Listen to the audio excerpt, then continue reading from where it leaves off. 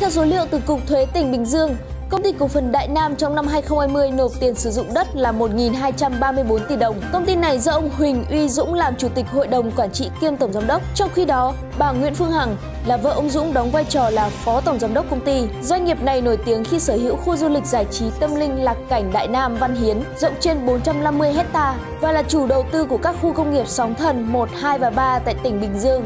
Đại Nam cũng là chủ đầu tư khu dân cư đô thị thương mại dịch vụ ở Bình Dương. Tại thời điểm 31 tháng 12 2019, tổng cộng nguồn vốn công ty của ông Dũng Bà Hằng đạt 4.475 tỷ đồng, trong đó nợ ngắn hạn là 755 tỷ đồng, nợ dài hạn là 3.915 tỷ. Như vậy, lỗ lũy kế của Đại Nam lớn hơn vốn điều lệ 195 tỷ đồng.